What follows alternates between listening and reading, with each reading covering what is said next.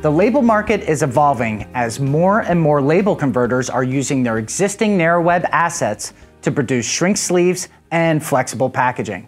I'm Tom Hauenstein, and in today's Primetime Focus, I want to highlight a low cost solution that's already helping label converters with their shrink sleeve and flexible packaging jobs.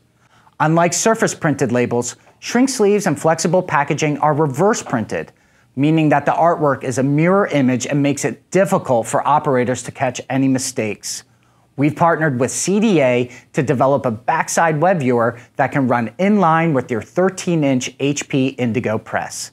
The backside web viewer is a simple solution designed to improve output and performance and remove bottlenecks in your production. The 13 inch system allows you to see the back of a reverse printed shrink sleeve or flexible packaging print job coming off the press before it goes to a rewinder.